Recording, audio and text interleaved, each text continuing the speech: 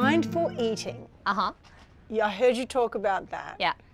It is so important, and I know Jack talked about it, you know, Uh-huh. what goes into your body, how it's prepared, the feeling and the passion of the food that you're preparing. Uh-huh.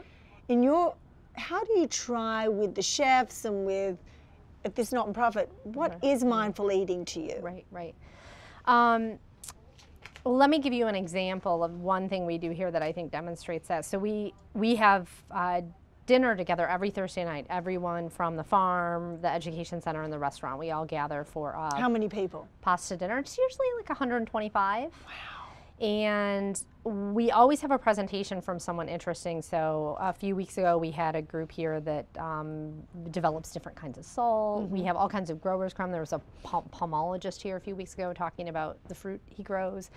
But one of the things we do is called anatomy of a dish. And what happens with that is we pair a young farmer and a young chef, and we say, go out into the landscape and onto the farm and create a dish that reflects this place, that reflects the ecology of this place, and that also helps you tell a story about yourself, about how you ended up here, why you love food, why you cook, why you farm.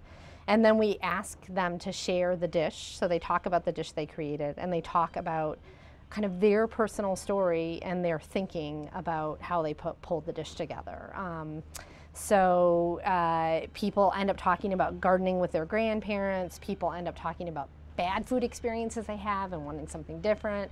People talk about connection to land. They talk about connection to each other. So to me, mindfulness is it can come through many threads. You know, for some, like I'm a very deeply interested in conservation. So for me, it's about conservation.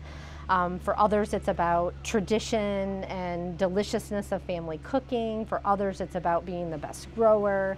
Um, but I love that project because it, it gives the young people on the farm the chance to really express like what is mindfulness to them through food.